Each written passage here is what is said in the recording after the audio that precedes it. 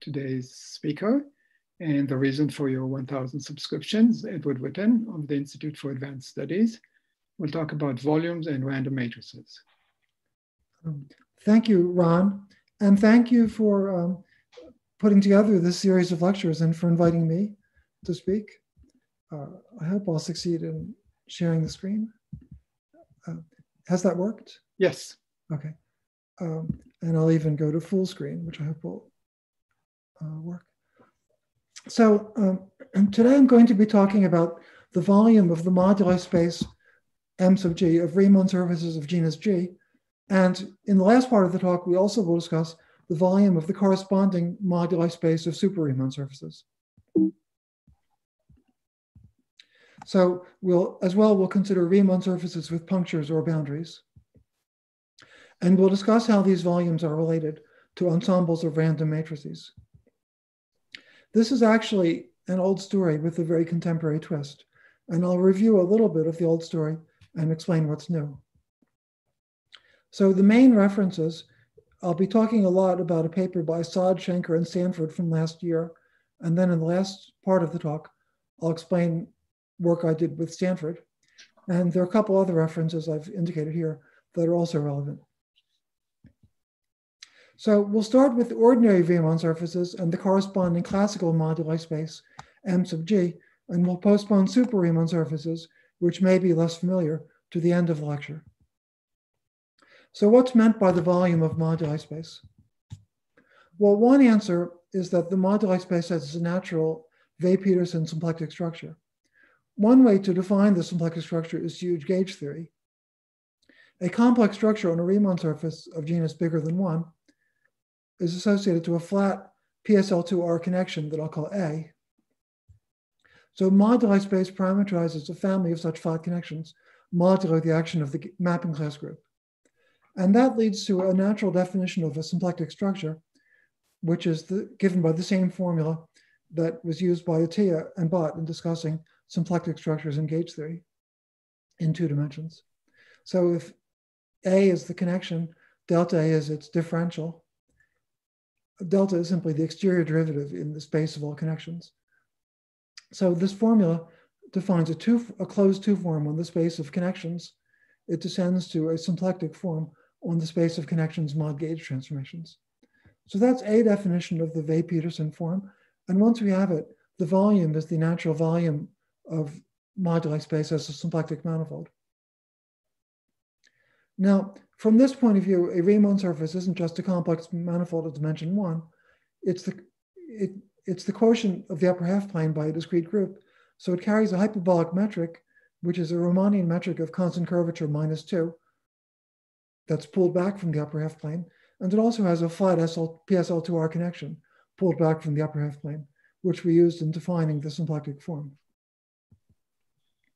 Now, Although I won't really approach them this way in the lecture, just as a reminder, volumes can also be related to intersection theory of tautological Mumford Morita Miller classes on moduli space.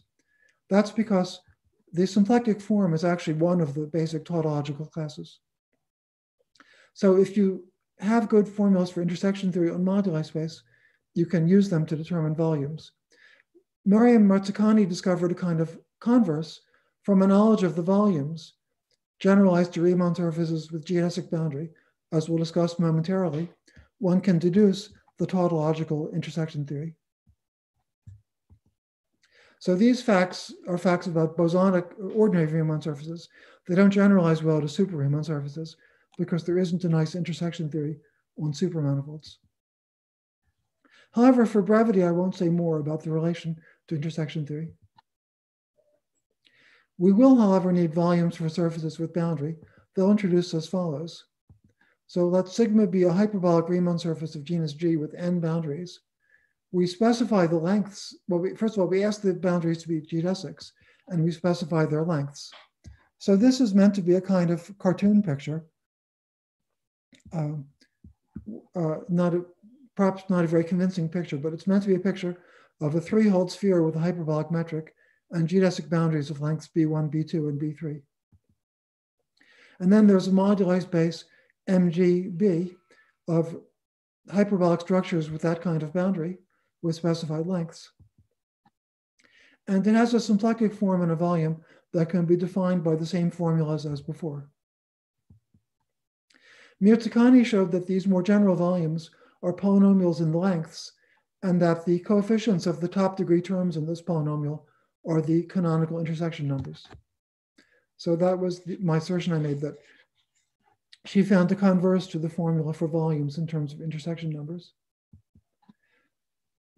Now, the fact that volumes are related to intersection numbers gives one way to calculate them, but it's hard to use this to get explicit formulas.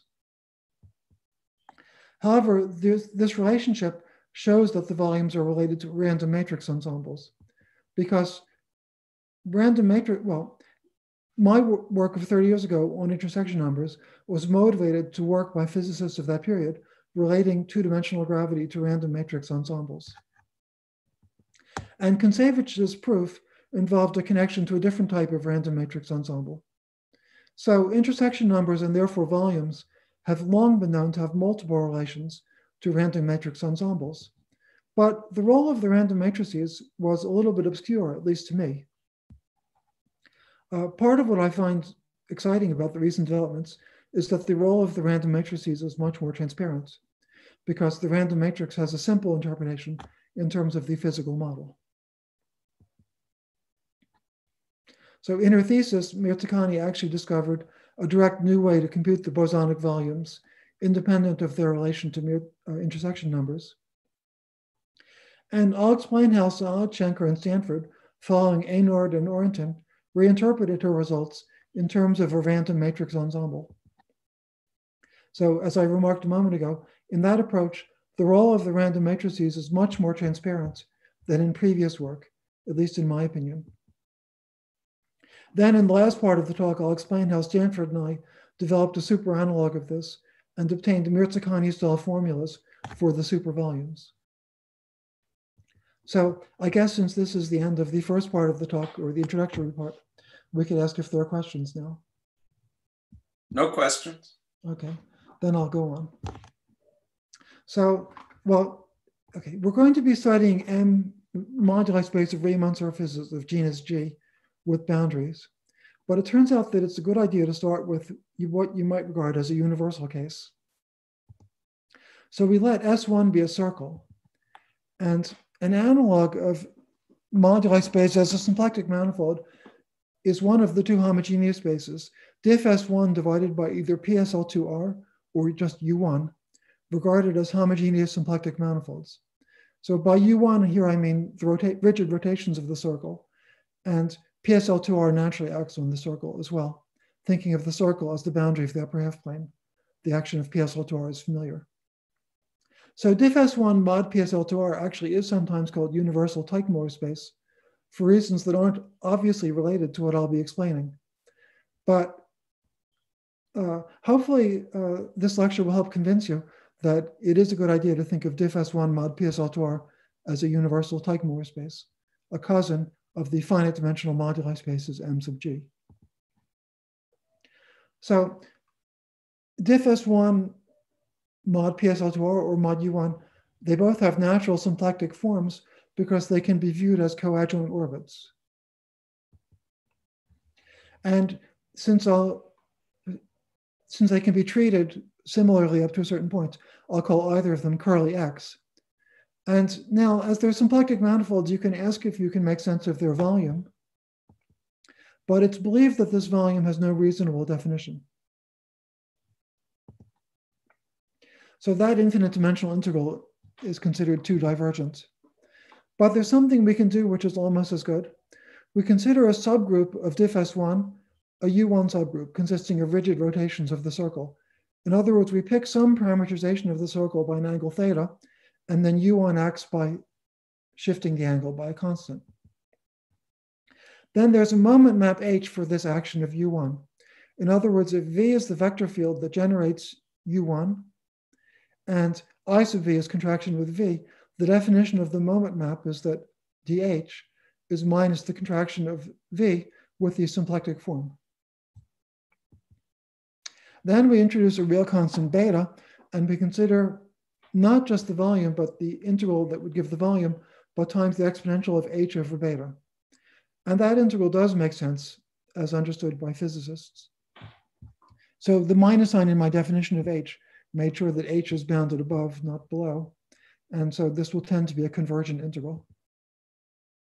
So to make sense of it, we think of ourselves of this as an infinite dimensional version of something that was studied by Duistermaat and Heckman and then reinterpreted by Atiyah and Bott in terms of equivariant cohomology. So for a finite dimensional case, let Y be a symplectic manifold with symplectic form omega and Hamiltonian action of U1. Suppose that there are fixed points P1 up to PS.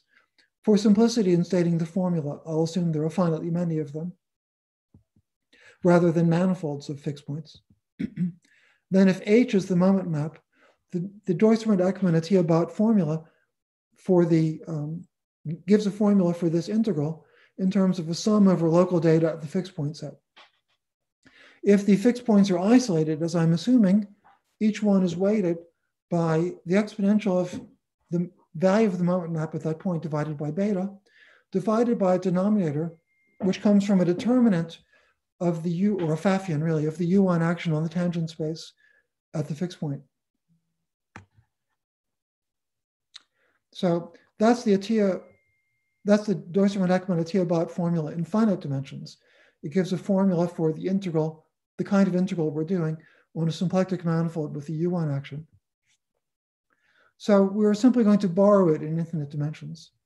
So in the present example, there's only one fixed point in the U1 action on either of these two homogeneous spaces. So there's only one term in the sum.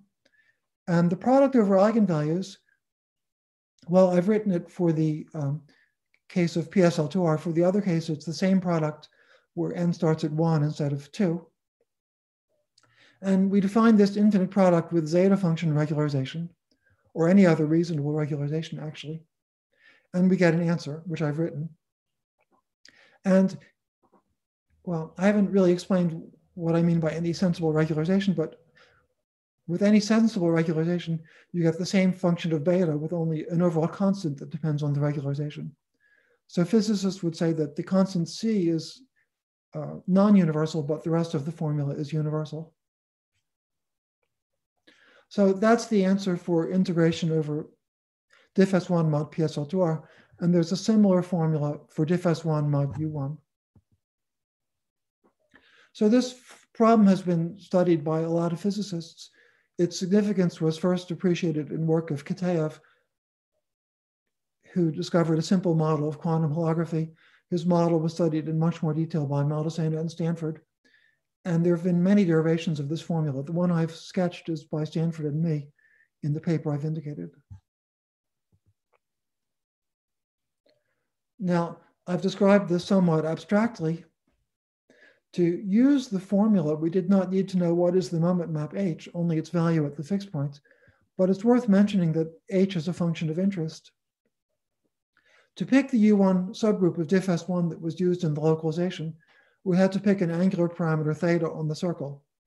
Then an element of diff S1 maps this to another parameter t, and h is the integral of the Schwarzian derivative of t with respect to theta. Now, so we got, anyway, I wrote, so that's where the constant pi squared in the numerator comes in. It comes by evaluating the Schwarzian derivative um, for the, at the fixed point. So having gotten this formula for z, it's now convenient for reasons you'll see to take an inverse Laplace transform, and we can write z of beta as the integral I've indicated over a parameter e that we eventually will interpret as energy. And the function rho of e that comes in is another constant times the sinh of 2 pi root e. So we'll be discussing the physical interpretation of the formula in a bit. And I'm not writing it, but there's a similar formula for the case of diff S1 mod U1. So this is another good place to stop for questions, since I'm going to uh, move on to another portion of the talk in a moment. Uh, I think you can go on. We'll have questions at the end. Yeah. Okay. So now I'd like to explain why this formula was considered problematical and how Saad, Shenker, and Stanford interpreted it. But that'll require explaining a little more physics. So general relativity is difficult to understand as a quantum theory. But in looking for understanding, physicists have looked for a simpler model in a lower dimension. One dimension is a little bit too low for Riemannian geometry as there's no curvature, although actually there are interesting things to say even in one dimension. But for today, we're going to start in two dimensions. An obvious idea might be to start with the Einstein-Hilbert action in two dimensions, which is the integral of the Ricci scalar. But that doesn't work well because in two dimensions, this action is a topological invariant, according to the Gauss-Bonnet theorem. It turns out to be better to add a real, a scalar, real valued field phi.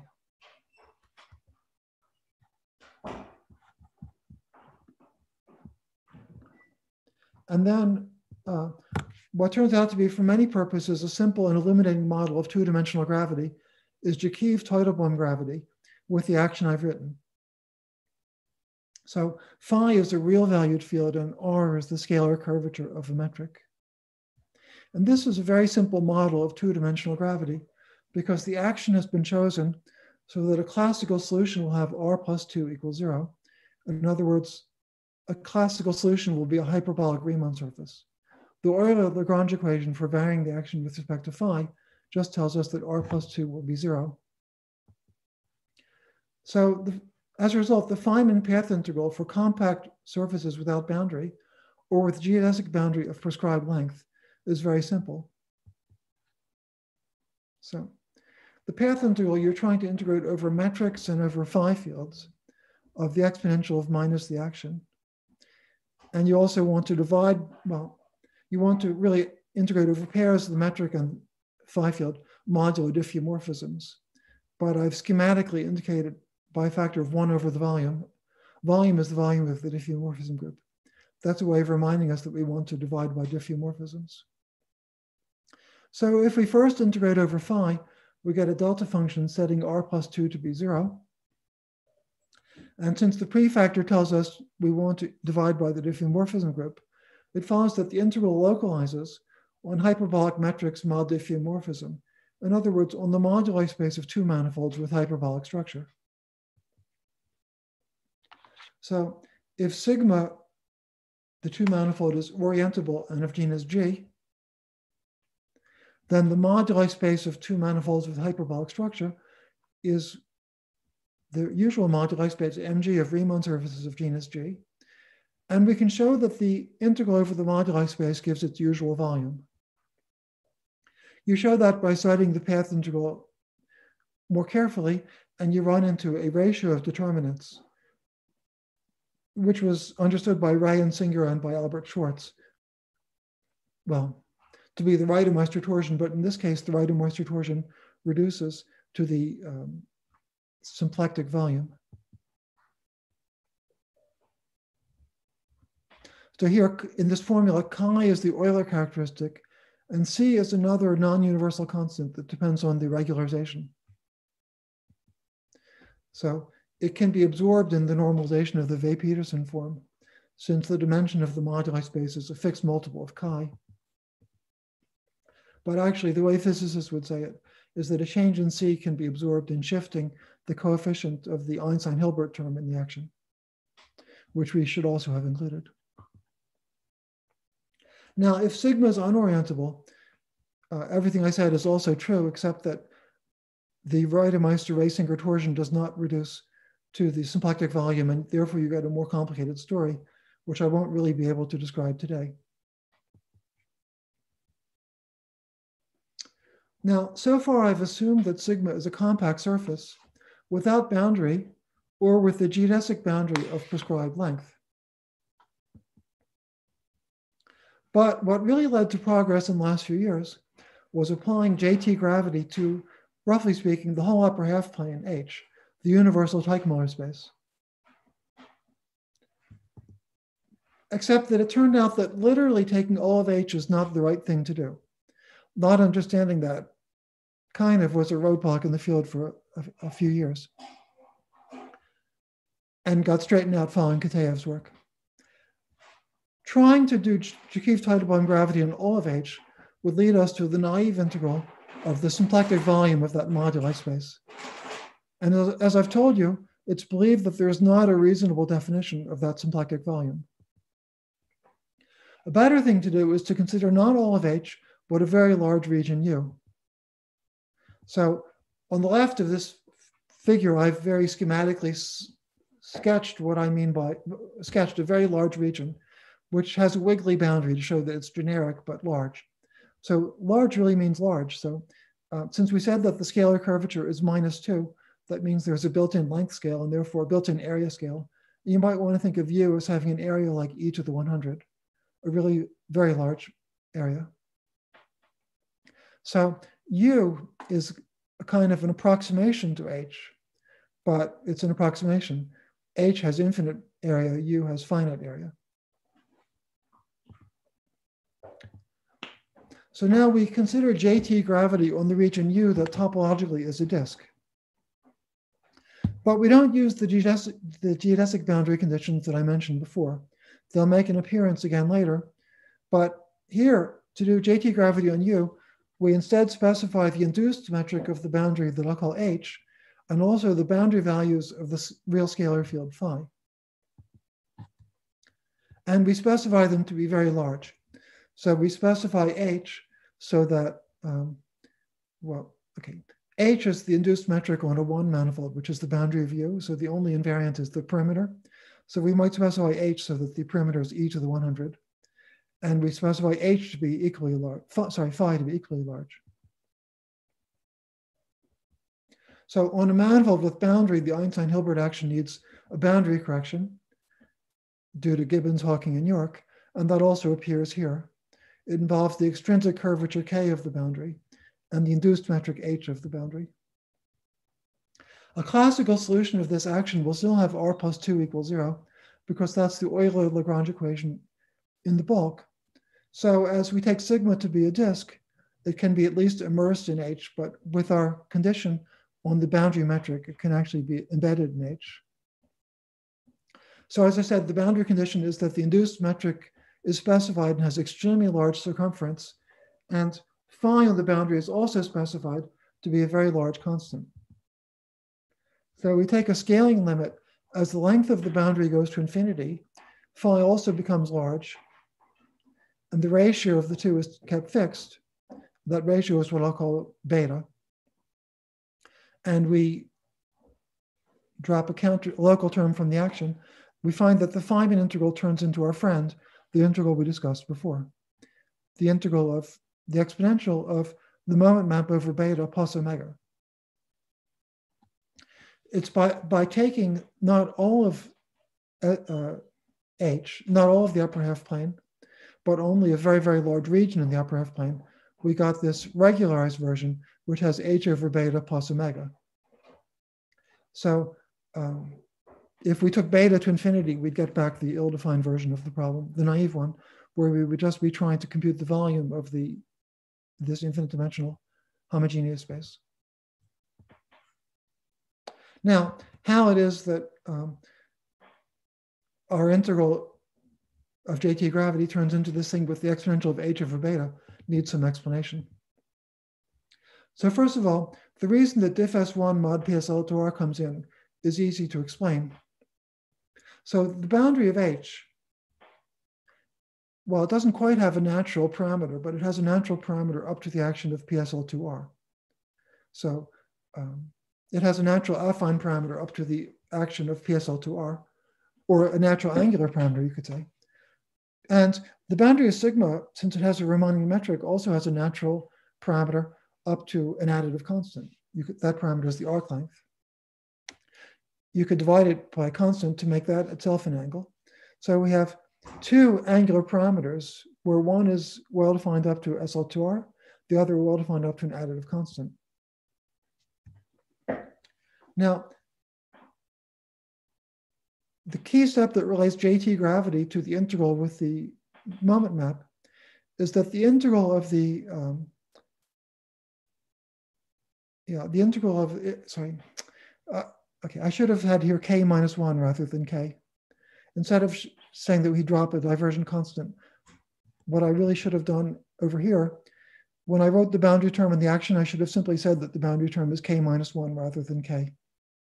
That still gives, it with or without the minus one, it gives a well-defined variational problem and quantum path integral. But the limit we're interested in requires having uh, here. I don't know if you can see my mouse, but if I, I've tried to highlight that, but I'm not sure if you can see it. But it requires that that k should be k minus one. We can see it. You can see it, okay. Um, in that case, I won't find another way to highlight it. So had I had a k minus one here, then. We can see it. Yes, you could see it, right? And then, uh,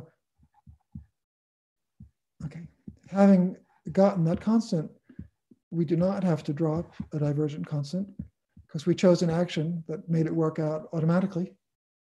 This here k should be k minus one. And then in this limit of a very large region U, the integral of k minus 1 turns out to be a multiple of the moment map h. So I remind you that the moment map was the um, derivative, integral of the Schwarzian derivative for comparing two parameters, where the parameters are the natural angular parameter on the, on the boundary of h and the arc length parameter of the boundary of u. Uh, this sigma should be u. Well, I, okay. Sigma equals u, let's not, since I've written sigma in a lot of places. So the action of JT gravity turns into this h over beta. And so the Feynman integral becomes the integral we discussed earlier, the integral over diff S1 mod PSL2R, not of the volume of universal motor space, but of the, well, the exponential of the moment map over beta plus the symplectic form. And I've explained the steps by which we evaluate that formula to get an integral over E of this elementary function.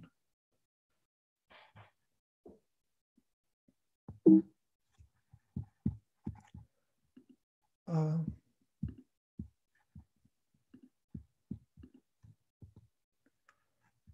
so in this derivation, beta is the normalized length of the boundary.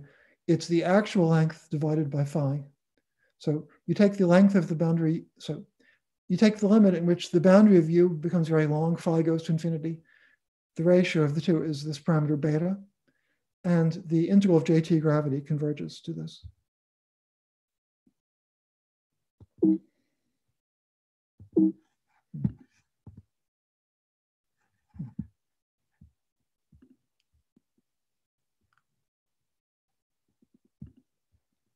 Okay.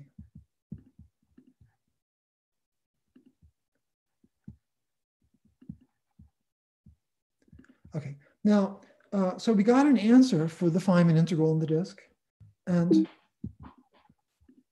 uh, the, the as I said, the first version of this answer was derived by Kitaev, and then uh, it's been redone many times by other authors. But it's a problematic answer in terms of the physics involved. And I really wanted to try to explain that. To understand this, you should be familiar with holographic duality between gravity and the bulk of spacetime and an ordinary quantum system on the boundary. So if the bulk were four-dimensional, the boundary would be three-dimensional. And the ordinary quantum system on the boundary would be quantum field theory. Perhaps not a familiar concept to everyone, although it would be to the physicists and to certainly some of the mathematicians. But here the bulk, which is our Riemann surface that I called sigma or u, is two-dimensional. So the boundary was just one-dimensional. It was that very long circle. And an ordinary quantum system in one dimension is just described by giving a Hilbert space J and a Hamiltonian operator H on the Hilbert space. So in one dimension, there's no mystery mathematically about what's meant by quantum field theory. And the basic recipe of holographic duality predicts that the partition function of the bulk theory, which I called Z of beta, should be the trace in that Hilbert space of the exponential of minus beta times the Hamiltonian. So we computed Z of beta, and holographic duality says it should be possible to interpret it in the form I've indicated. Now, that prediction is false. But before checking that the prediction is false, I want to explain that this wasn't a complete surprise. Analogous calculations going back to the work of Hawking and collaborators in the 70s have always given the same problem. That problem is the essential mystery about quantum black holes. Now, the calculations were always done in models like four dimensional general relativity that were too complicated for complete calculation. And there was always a possibility that the problem was an artifact of an incomplete calculation. But holographic duality and a variety of other developments that we're kind of skipping today made it possible to ask the question in a model that's so simple that we can do a complete calculation demonstrating the problem. So that's where we are. We, will I'll explain in a second that the prediction was false, and we'll interpret it as a very simple manifestation of a problem that's actually been with us for quite a while. To see that the prediction of the duality is false, if we do have a Hilbert space, H, and except I called it J, if we do have a Hilbert space and Hamiltonian H acting on the Hilbert space, such that the operator e to the minus beta h has a trace, then H must have a discrete spectrum with eigenvalues E1, E2, and so on, which moreover must tend to infinity fast enough. And then the trace of e to the minus beta h is the sum of e to the minus beta times e sub i, where i is e sub i is the ith energy level. And we could write that as an integral over energies of a sum of delta functions times e to the minus beta e. Instead, the integral we got for z of beta, well, we wrote it as an integral over e of something with an e to the minus beta e, but the something was a smooth function rather than a sum of delta functions. So since the function we got is not a sum of delta functions, the prediction of the duality is false. However, the interpretation via JT gravity gives us a key insight that we did not necessarily have when we were just abstractly integrating over universal Teichmuller space. The constant c is exponentially large near the classical limit, which is kappa going to zero. We interpret this constant as the exponential of s, where S is the classical black hole entropy, which is of order 1 over kappa or 1 over h bar, and thus large. A couple of these things are stated a little bit in a little more detail in the written version, which will be in the archive tomorrow. When c is exponentially large, the function c times sinh of 2 pi rho d, which we'll now write as e to the s times the sinh of 2 pi rho d, can be well approximated as a sum of delta functions. You'd have to look incredibly closely to see the difference between e to the 100 times sinh 2 pi root e and a, sum, a very dense sum of delta functions. So the idea of Saad et al. was to interpret e to the s times the sinh of 2 pi root e, not as the density of states of a particular Hamiltonian, but as the average density of states of an ensemble of Hamiltonians, a random matrix. So in terms of the physics involved, this interpretation was kind of heretical and highly stimulating, but it's going to be hard to fully convey this. Now, what made them go in this direction? Well, one clue was given by the work of Kitaev, which had pointed in this direction. His work used a random ensemble, a more complicated one than the one used by Saad et al. Unfortunately, there isn't time today to explain Kitaev's ensemble and what he did with it. Another clue was the prior history of relations between two-dimensional gravity and random matrix theory. I mentioned that uh, such relations were developed 30 years ago, leading, among other things, to my conjecture about intersection theory and Kontsevich's proof. Finally, there was a clue related more directly to today's lecture. That had to do with the volumes of moduli spaces.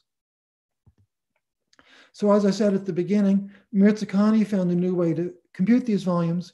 Eynard and Orantin had interpreted her work in terms of a random matrix ensemble. Well, in terms of what they call topological recursion. But topological recursion is very closely related to random matrix ensembles. And most important, the eigenvalue density of the Eynard-Orantin ensemble was precisely, well, after a change of variables, it was our function with a different interpretation of the constant S and a different normalization of the energy E. So um, this led to the insight of Saad et al. that JT gravity can be reinterpreted as a random matrix ensemble with a particular spectral curve. So now I'm going to make a review of the, well, random matrices are a vast topic. I'm going to review uh, just a tiny part of it that, we're, that we need. So here, M is going to be an n by n Hermitian matrix for some n. We're really interested in the limit that n becomes very large and goes to infinity. Then we pick some suitable function t of m, and we consider the integral over a mat matrices of the exponential of minus n times the trace of t of m. The reason to put a constant n in front of the uh, exponent is that that leads to a smooth, well, that leads to the kind of large n limit that I'll describe.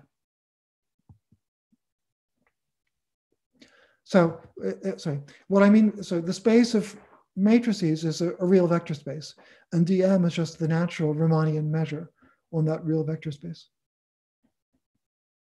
So if the function t is quadratic, this is a Gaussian matrix ensemble. So the original random matrices ensembles studied by uh, Wigner, Dyson, Mehta, and others starting in the 50s and 60s involved the case that T was Gaussian. But for this problem, we're interested in the case that T is not quadratic. So we're discussing a non-Gaussian random matrix ensemble. So this integral, or rather its logarithm, has an asymptotic expansion for large n, keeping T fixed. That's what we got by including uh, the, a factor of n as a prefactor in the exponent. So the nature of the expansion is that log z is n squared times f0 plus something of order 1, f1 plus 1 over f squared and n squared f2 and so on. And this expansion was originally described by Hooft in 1974. It's constructed by standard Feynman diagram methods, except that you find out that the Feynman diagrams are really what are sometimes called fat graphs. So, well, I didn't make a point of drawing fat graphs, but since uh, in that graph at the bottom of the slide, my lines do have some thickness, they aren't mathematical lines, you can think of them as being fat graphs. So a fat graph can be naturally drawn on a two manifold. And in this case, it's going to be a closed Riemann surface. So what Hooft showed is that if fg of t is the sum of connected Feynman diagrams of genus G, well, meaning the sum of diagrams that can be drawn on a two manifold of genus G, then the f sub g's are the coefficients in the expansion of log z in powers of n squared. So the expansion has the form I indicated in terms of Riemann surfaces of increasing genus. So in terms, if you want to know what physicists did with random matrices and gravity 30 years ago, the idea at that time was that we think of a we think of triangulating a Riemann surface with a vast number of simplices or triangles. So like I've drawn at the bottom, but uh, thinking of that as a tiny, tiny piece of a huge two manifold. And then an approximation to two-dimensional gravity is to count the number of ways to triangulate a surface of given area. And uh, Hooft taught us that that could be expressed in terms of a matrix integral. And then studying the matrix integral in a different way led to progress with two-dimensional gravity and various other developments. But um, anyway, that was the story 30 years ago. But today we're doing something a little different. But one common ingredient is that instead of just making a Feynman diagram expansion, we want to evaluate the integral. So a direct way to evaluate the integral was introduced by Brezin, Parisi, Itzykson, and Zuber by now more than 40 years ago. So you diagonalize M, writing M as U lambda U inverse, where lambda is diagonal and U is unitary. And then the measure can be written explicitly in terms of these variables. du is the Haar measure on the group un, and it, the integral over u cancels the factor of 1 over of the volume in the original integral. So we, we reduce to an integral over the eigenvalues. And this integral over the eigenvalues can be studied very nicely for large n, because the integrand has a maximum as a function of the lambdas, which is a sharp maximum when n is large. Remember, there are many eigenvalues. If the density of lambdas is n times some function rho of lambda, constrained so that its integral is one, then the integrand can be written as the exponential of n squared times something. So the something has two terms. One comes from the original, what a physicist would call the classical action, n times t. That gives this term. The integral of rho of lambda, t of lambda, comes from the action. Then this other factor that comes from the measure, well, the measure turns into another term in the exponent. But importantly, both terms are of order n squared. So to determine the large n behavior, the two terms are equally important. You have, well, in the original approach, one solves an integral equation to find the maximum of that function as a function of rho under the constraint that its integral is one. So for a nice function t, the exponent has a unique maximum for some function rho of lambda whose support is at an interval on the um, lambda axis. So I've plotted rho as a function of lambda. So rho has its support only in a certain interval on the lambda axis, and it has a maximum. So the most famous case of this is the case that t is quadratic, and then this curve here is a semicircle. For more, for more general t, you'll get some other curve, some other function, but still supported on an interval on the lambda axis. Now, if f0 of t is the value of the exponent at its maximum, then the leading approximation to the integral is just the, that z is the exponential of n squared times f0 of t. How can we compute the corrections to this leading behavior? Well, something very nice happens, but I won't really be able to explain it today. You should define a spectral curve in the y lambda plane. y squared is minus rho squared of lambda. And it turns out that this curve is a double cover of the lambda plane branched only at the endpoints of the eigenvalue distribution. So it has two branch points at the endpoints of the support of the, well, as a real function, rho of lambda had was supported on an interval and has square root singularities at the endpoints. So it can be continued to an analytic function of lambda or an algebraic function such that y squared equals minus rho squared of lambda um, is a hyperelliptic curve with two branch points. I should more accurately say its normalization is such a curve. It has some additional singularities, but its normalization is a hyperelliptic curve with two branch points. Once you know rho of lambda, you can forget about doing integrals, and you can also forget the original function t. The whole expansion and anything else you might want to know can be worked out just using a knowledge of the spectral curve. A very useful version of this process is the topological recursion of Eynard and Orantin. I won't be able to explain that today. There's actually um, a short introduction to it in section four of my paper with Stanford. Now let's go back to the volumes of moduli spaces. So as I've explained, Saad et al. interpreted the function e to the s times sinh of 2 pi root e that comes from universal Teichmuller space as the density of eigenvalues for a random matrix from the type of ensemble that we've described. In principle, you're supposed to start with the function t and compute the corresponding density of energy levels n times rho sub t, where I make explicit the dependence on t. Then you take n to infinity while adjusting t so that n times rho sub t converges to the desired answer, which is e to the s times the sinh. That process is called double scaling. And in that process, the interval in which the eigenvalues are supported converges to the positive e-axis, the branch points being at zero and infinity now. But we can skip all that work because everything we need to compute only depends on the spectral curve. And we know that the spectral curve is going to be that y squared is minus the square of the eigenvalue density. So our spectral curve is the one I've indicated which, as I said, its normalization has is a, just a double cover of the E-plane branched at zero and infinity, although it's got a lot of singularities at zeros of the function sinh 2 pi root e away from e equals zero. In short, all we have to do is start with the, this spectral curve and apply topological recursion to compute the expansion and various other quantities of interest. where after double scaling, we are expanding in powers of e to the minus s rather than 1 over n. Now we can compute the volumes.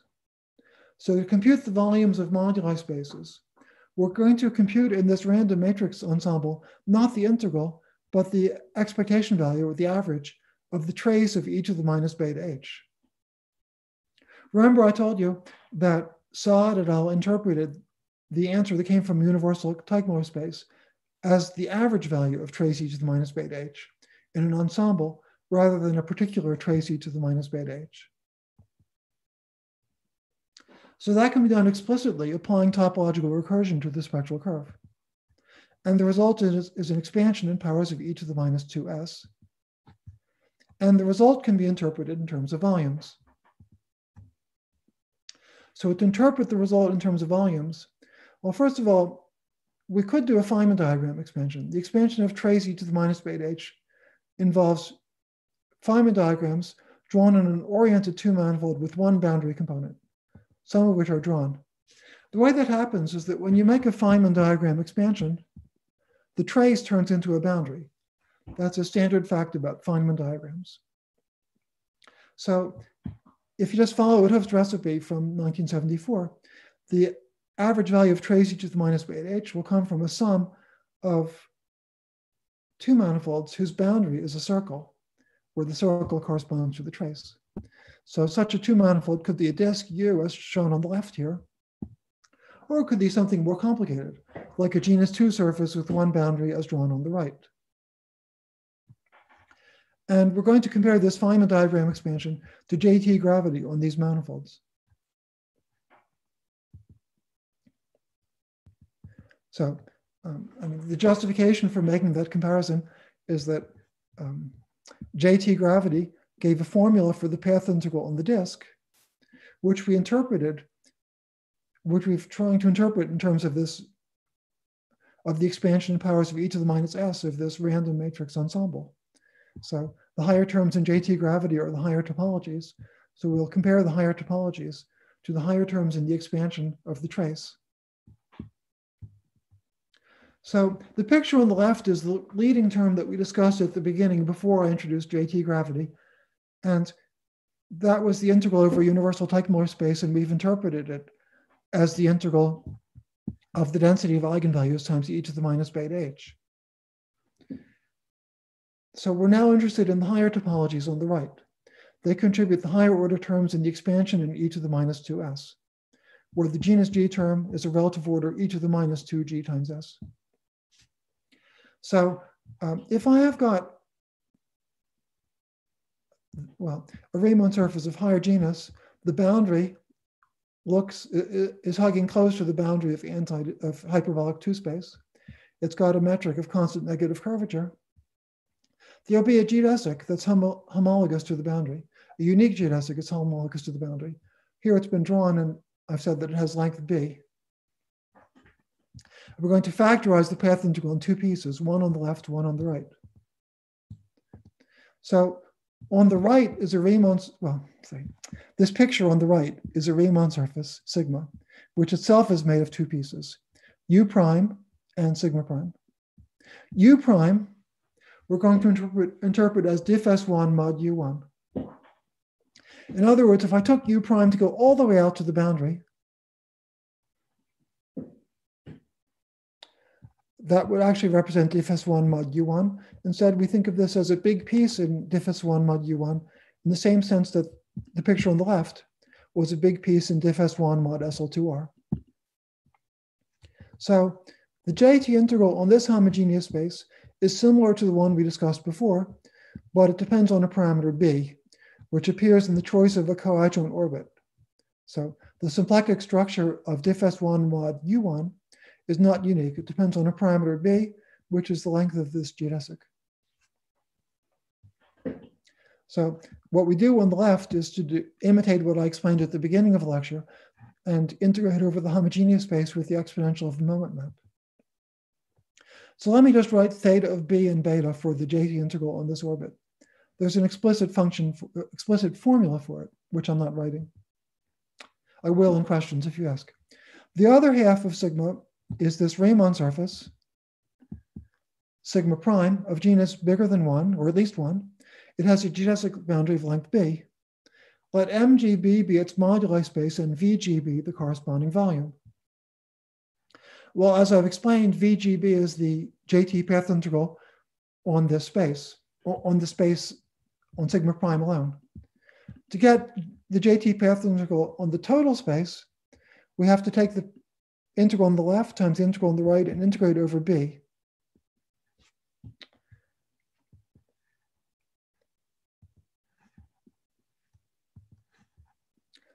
On the other hand, a particular term in the expansion of the matrix integral in powers of e to the minus s is supposed to equal jt gravity on the whole surface sigma, this whole right-hand picture.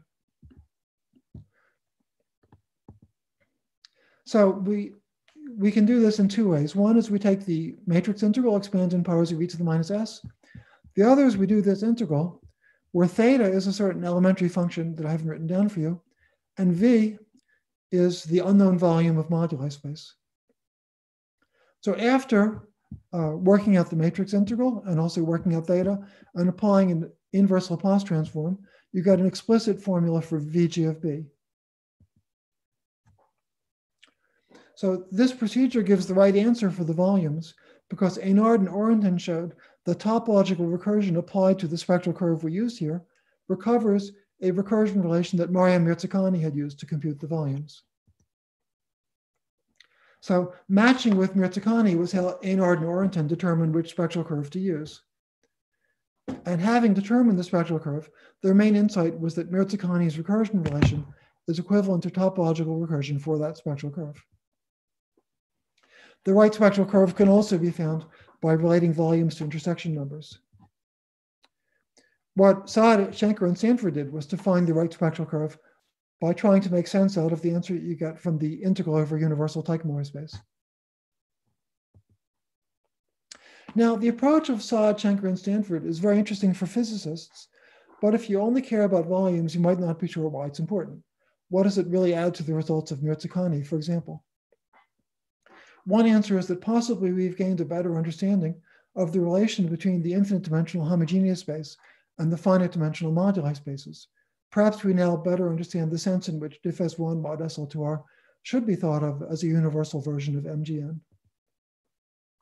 Also, we possibly now have a more direct understanding of the relation of intersection theory to random matrices, because in this approach, the meaning of the random matrix was clear. It's the Hamiltonian of the quantum mechanics. Yet another possible answer is given by my work with Stanford. We ran the whole story for super Riemann surfaces. And I can be much quicker in explaining it because, uh, at least at the level of detail that I will go into, every step has a precise analog in something I've told you in the ordinary case. First of all, what's a super Riemann surface? There are various approaches, but for today, we got a super Riemann surface by just replacing SL2R which is a group of linear transformations of R2 that preserve a symplectic form, with OSP1 slash 2, which is the corresponding supergroup of a symplectic supermanifold R2 slash 1. So this is a Lie supergroup of dimension 3 slash 2. Its Lie algebra contains a non-degenerate bilinear form that I denote as the trace. There's a super analog of the upper half plane H, which is the homogeneous space OSP1 slash 2 divided by U1. It's a smooth supermanifold of real dimension 2 slash 2 that carries a complex structure in which it has complex dimension 1 slash 1. So I'm a little bit behind time. I had a slide where I wanted to explain how this is related to other definitions of super Riemann surfaces. So, well, it's explained very briefly here, but I don't want to go into much detail because partly because there isn't because I'm late and partly because there isn't time to explain it properly. But the super upper half plane itself is a, a super Riemann surface. That's this first bullet item here, in, in, which I explain why that's true. Now, if you're given a flat OSP1 connection on an ordinary two manifold sigma, that's, well, the, if you take the monodromy, you got a discrete subgroup of OSP1 slash 2, and then if you take the quotient of the super upper half plane by the monodromy group, you get a super Riemann surface sigma hat. That is, you get a smooth supermanifold that interpret, inherits a complex structure and super surface structure from H hat. So that's the relation of flat connections to super surfaces. But for today, we could just as well be studying the flat connections. So we don't really need any of this today. Now, with the definition I've given of moduli space in terms of flat connections, we can define the symplectic form and volume as in the bosonic case. The symplectic form is defined by the same formula, and the volume is almost the same formula, except that instead of the Pfaffian, you have to use what's called the square root of the Berezinian. And then you can also define moduli spaces of super Riemann surfaces with the geodesic boundaries of specified lengths and their corresponding volumes that again are given by the same formulas. It's also possible to describe the supervolumes in purely bosonic terms. The reduced moduli space of Mg is the moduli space M prime G that parametrizes an ordinary Riemann surface sigma with a spin structure, which we can think of as, as a square root of its canonical bundle. The normal bundle to, so the reduced space can be thought of as a submanifold of Mg, and its normal bundle in Mg is the vector bundle U, whose fiber is H1 with values in k to the minus one half. And then we can view this bundle as a real vector bundle and let chi view be its Euler class. And by general arguments about symplectic supermanifolds, well, first of all, the symplectic form of Mg restricts on its reduced space to the ordinary symplectic form of M prime G, which is simply the Weil-Petersson form pulled back to M prime G from Mg. And then general arguments about symplectic manifolds show that the volume of the supermoduli space can be interpreted in terms of conventional bosonic geometry by the formula I've written there. So what I'll say about supervolumes is a purely classical statement about the moduli space of Riemann surfaces with spin structure. The super analog of JT gravity is JT supergravity, which computes the volumes of the supermoduli spaces in general with geodesic boundaries of prescribed lengths.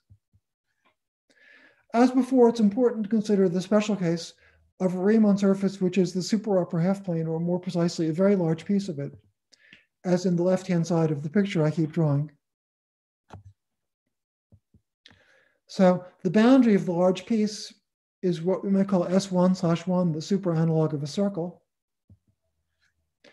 And the super JT path integral on the big piece is again the integral over the infinite dimensional homogeneous space of the exponential of the moment map over beta plus um, the symplectic form, where beta is a constant that determines how quickly we approach the limit of a large piece. That's the closest universal super Teichmuller analog of the supermoduli space volume. So in our first paper, Stanford and I computed this integral, again using localization, and this was the answer. So H is again the moment map for a U1 subgroup, just as in the bosonic case. So again, this isn't the trace of e to the minus beta h for a Hamiltonian acting on a Hilbert space, but now we know what to do. We have to consider an ensemble of random Hamiltonians. So we can rerun the story with a few changes. First of all, the formula for z of beta tells us the spectral curve. I've written what the spectral curve is going to be. But the matrix ensemble will not be the same type as before. One way to see it must be different is that now y squared is 1 over e near the endpoint of the spectrum rather than e. In other words, instead of a square root branch point, you have a sort of inverse square root branch point where y goes as 1 over the square root of e. So for the type of ensemble we considered before, for the type of ensemble we considered before, we had a 1 over square root of e singularity. Whereas now we, sorry, before we had a square root of e singularity, but now it's 1 over square root of e. So that means that you have to do a different kind of matrix ensemble. But you can guess what kind of matrix ensemble it should be on the following grounds because we're now doing JT supergravity, the dual quantum mechanical system is supposed to be supersymmetric.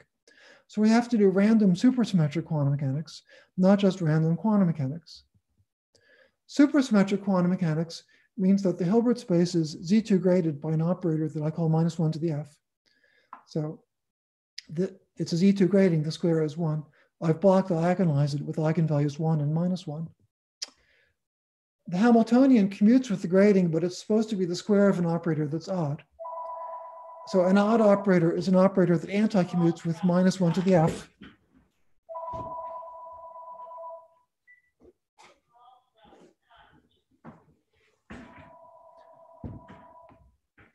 So Q is a self-adjoint operator that anti-commutes with minus one to the F.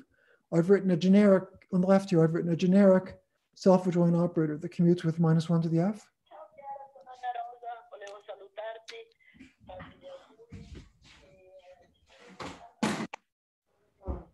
There's a slight flaw in the system. Uh, for the next colloquium, I recommend trying to find a way to avoid extraneous phone calls during the lecture. But um, anyway, um, okay, so where was I? So um, we have a Z2 grading and the Hamiltonian is supposed to be the square of an odd self-adjoint operator Q. So I've written for Q a generic odd self-adjoint operator and then H is Q squared. So um, a random ensemble for Q is defined by the measure exponential of minus n times the trace of a function of Q squared. So this is one of the standard random matrix ensembles constructed by, well, there's, I should have perhaps said Weir, Wishart as well, but by people like Verbaarschot, Altland, Zirnbauer, and in an earlier version by Wishart. If T is linear, the, okay, the classic case is the T is linear and this is a Gaussian ensemble. Again, we're interested in the nonlinear case. Now, I want to explain why this kind of ensemble works for giving us the behavior we want of the spectral curve near its endpoints. That's very easy to see. Let mu be an eigenvalue of Q and let f of mu d mu be the density of eigenvalues. Because the measure is even in Q, since Q was odd under the grading, f of mu equals minus f, of mu equals plus f of minus mu, not minus f of minus mu.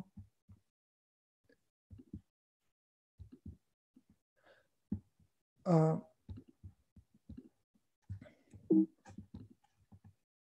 so it's generic to have f of zero not equal zero. So you could also find a generic class where f of zero is zero, but in an open set in the space of all t's, f of zero is non-zero. And that's all we need because since h is q squared, an eigenvalue of h is mu squared, e is mu squared. And then since f of mu d mu is f of e to the one half times dE over the square root of e, you see that the density of eigenvalues behaves as e to the minus a half near e equals zero. So this kind of ensemble is a good candidate for the present problem because it's supersymmetric and has the right behavior near the origin. So with this particular matrix ensemble, there's again a version of topological recursion. And applying it in the double scaling limit with the spectral curve that we have, we get an expansion of the average of trace e to the minus beta h and powers of e to the minus 2s. And by the same logic as before, the terms in this expansion have an interpretation in terms of volumes of supermoduli spaces. So in this way, Stanford and I determined a recursion relation that determines the volumes of the supermoduli spaces but I should say, by the way, the same spectral curve was studied by uh, Norbury with a different motivation. And he obtained result, similar results from the topological recursion for the spectral curve. The approach of Stanford and I added the interpretation in terms of supermoduli spaces. By imitating, so we were then able to prove our formula by repeating what Mirzakhani did for ordinary Riemann surfaces. So First of all, by imitating her derivation, we obtained a Mirzakhani-style recursion relation for the volumes of the supermoduli spaces. And by imitating Eynard and Orantin, we showed that the recursion relation that comes from the matrix ensemble agrees with the Mirzakhani-style recursion relation. But unfortunately, to explain all this would call for another occasion. I'll just very briefly mention that the problem has a few interesting refinements. One is that the operator P can have a non-zero index, which is the difference in dimension between the odd and even subspaces of the Hilbert space. To compute the volumes of supermoduli space, you take the index to be zero.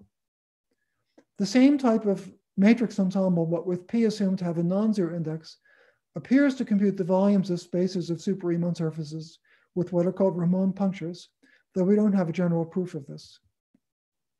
So that's one generalization. Another is that the spin structure of a Riemann surface or a super Riemann surface can be even or odd. To compute volume separately for each of the two cases, you also have to consider a somewhat different matrix ensemble in which H is still Q squared and the spectral curve is the same, but the Hilbert space is not assumed to be Z2 graded. So I guess that's what I have for today. Thank you.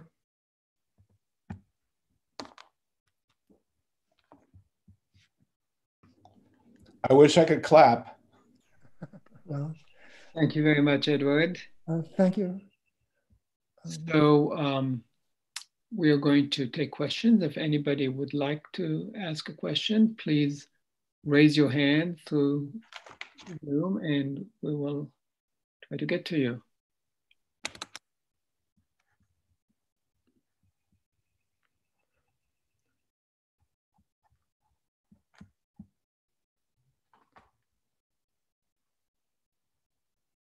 I am not seeing any question. There, there, there are hands raised. Uh, there's uh, Greg Moore has a question, I think. Can you can you uh, call on him? Yeah, go ahead, Greg. Yeah, actually, I had two questions. Um, one is if you replaced uh, JT gravity on ADS2 by, let's say, a full, the effective theory of a full string theory compactification to ADS2, mm -hmm would we still be averaging over Hamiltonians or would there be a particular Hamiltonian? Okay, Greg's, well, even without going all the way to ADS2, your, your broader question could be, uh, okay, if, if, we, okay, uh, I'll interpret the question as follows. So in the case of JT gravity, it was defined by a classical field theory. We didn't go in knowing what the bulk boundary was, dual was supposed to be or whether there was one really. And it turned out that the boundary dual isn't a particular quantum mechanical system, but an average of an ensemble. However, there are cases, in fact, particularly interesting cases, where we do know what the boundary dual is supposed to be. And I'm sufficiently old fashioned that I still believe that when there is a well defined boundary dual, it's dual to a specific quantum theory in the bulk, which in some sense is probably a better theory than the ones that don't have boundary duals. But uh, I think it's all up in the air. Uh, I, okay. I, I, think it's a great question. I don't I don't claim to have to be able to say much more than I just said. Thank you. I, and then my other question was, I was intrigued when you said when, that by the fact that you've explained that um, you get you get a better understanding of the relationship between random matrix theory and intersection theory on moduli space of curves. But does this shed any light on where the Kontsevich matrix model is coming from? Because that's another matrix model that gives intersection theory? Uh, not yet, anyway. So um, the work I know that came closest to maybe explaining for physicists where the Kontsevich matrix model came was by Rastelli and Gaiotto. I don't know it that well. So I'm reluctant to try to explain it, but it involved consider, considering particular d-branes uh, in these C less than one systems possibly that okay anyway i have nothing new to add about that. I think it's a great question. I don't have any insight about it unfortunately. Thanks. Sure. Israel yes um, hello. Uh, so uh, you had a boundary term for the uh, gravity action yes. Uh, the gibbons-hawk uh, the Gibbons-Hawking-York term. Uh, if one goes to a first-order formalism, uh, one could um, drop the boundary term in the action. I wonder if there is a possibility of a, a first-order action for the JT uh, well, model. There is. In fact, it's better to uh, it's better to study it in the first-order version. I was just trying to cut corners and save a little bit of time. So see the, the nicest oh gosh it's a little hard to write on this thing so there it is in terms of gravity. But the most elegant version of the, see, gravity is related to um, gauge theory. In this case, well, gravity not in general, but in this two-dimensional case, it's related to gauge theory, where the gauge group is SL2R. So what are the, what, sorry. So in the SL2R description, there's a gauge field A, but there's supposed to be a field equation that FA is zero. So what kind of field theory could we write that would tell us that F sub A is zero?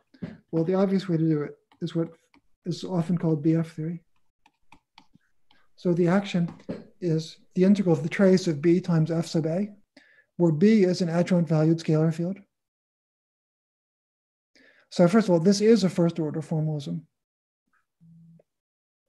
because it's literally it's first order in derivatives. Well, secondly, you'll find out that um, um, starting with this first order formalism, giving appropriate definitions of the fields in the gravitational version as certain components of B and F, and integrating out some terms uh, from this gauge theory version, you can get to the gravitational version. That's awesome. Uh, is there a supersymmetric version of that then?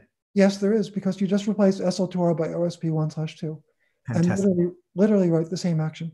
So okay. normally you can do that, but for a lot of purposes, it's much better to do that. Let, uh, let me give an example. So Stanford and I also studied the case of unorientable two manifolds. So it's not, first of all, the moduli space of hyperbolic structures still exists, but it's not symplectic anymore. And it's a Riemannian manifold, so it has a Riemannian measure, but that one is actually the wrong measure. The right measure comes from the torsion. And the best way, it's much easier to understand why the torsion comes in if you start with the BF version of the theory rather than the gravitational version of the theory. So that's an example. Um, if I organize my thoughts, I think I'd find other examples. But for many purposes, the BF version of the theory is easier to study than the gravitational version. I, I just was cutting corners in the lecture to, to, not, to try to not explain everything all at once. Thank you. Sure. Richard Nally. Um, thank you. Is there an analog of this random matrix story for Riemann surfaces that can teach us something about Calabi-Yau moduli spaces? Well, it's certainly not known how to do that, but I don't want to say a hasty no either. Um, when you have a Calabi-Yau manifold, there are topological strings topological strings can be written in terms of matrix models sometimes, more often than you'd think. I, ca I can't answer yes to that question, but I'm also a little bit nervous about answering no. So let's just say not, it's not yet known. Okay, thank you. Um, the best answer that is known, though, is that topological strings on Calabi-Yaus can sometimes be expressed in terms of matrix models. So that's something which is known that points in the direction of your question anyway. Okay, thank you. Maybe last question from Sasha Voronov. Uh, hello, Edward. As far as I understood from your uh, very last slides uh, about when you mentioned uh, the uh, Ramond punctures, uh, the moduli space, the supermoduli space FGB was analogous to the moduli space with Neveu-Schwarz punctures. Yes. Uh, and uh, I was wondering uh, what would be the boundary analog of Ramond punctures, and would it be interesting to interesting to show to study the analog of those constructions for the Ramond punctures? Mm-hmm. So you can consider two things. Oh, sorry, a little hard to draw. Okay, there's that's meant to be a boundary, and this is meant to be a puncture. Now, and the boundary has got a length, let's say B. So uh, we actually considered both both types of puncture and both types of boundary in the, in the paper. Mm-hmm. So if you have a boundary of Ramond type, the volumes are zero. If one or more volume, boundaries has Ramond types. Uh, not so for a puncture of Ramond type. There's a fundamental difference between Ramond and Neveu-Schwarz. Okay, let's first discuss bosonic Riemann surfaces. Let me draw a puncture more like it is in hyperbolic, in the hyperbolic world. In the hyperbolic world, a puncture is really a cusp. Mm-hmm. Now, in the hyper, in ordinary Riemann surfaces, the small b limit of a geodesic boundary is a puncture, a cusp. And that's also true for super Riemann surfaces in the Neveu-Schwarz case. So a Neveu-Schwarz puncture is just the small b limit of a Neveu-Schwarz Right. boundary, Yeah. And therefore adds nothing new. But a Ramond puncture is not the small b limit of a Ramond boundary. So the Ramond punctures are fundamentally new. And although we didn't have a general proof, we found in low examples that we could get the volumes of moduli spaces with Ramond punctures by taking the index in the uh, random matrix ensemble to be non-zero. Mhm. Whereas with Ramond boundaries, the volumes are all zero. I see. Yeah, it would be really interesting to find out what uh, Ramond, the analogs of Ramond boundaries would be then. You can define them, but the you can define Yeah. Ramond boundaries and define Uh-huh. the volumes, but the volumes are zero. But in, in such a way, I meant uh, so that the volumes are not zero, possibly, that they correspond to the to to the to this computation that you made, that you thought would correspond to Ramond punctures, Well, right?